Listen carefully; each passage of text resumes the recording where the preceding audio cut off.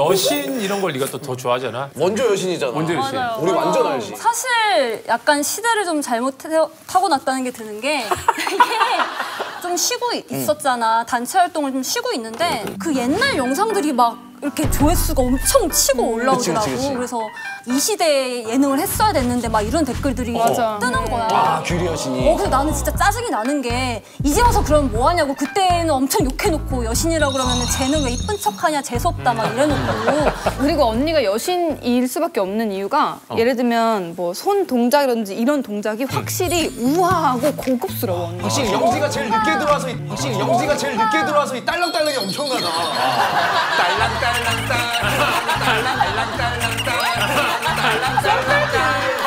그러니까 예능 가면 좋지. 아니 너무 좋아서 아이고, 내가 잘하잖아. 내가 사실 멤버 중에서 지금 예능을 제일 많이 했잖아. 근데 규리 언니를 보면서 약간 위협감을 느껴. 위협감? 예전에 규리가 어렸을 때 소라기 할 때도 깨너머로 이렇게 예능을 많이 배웠나 보지?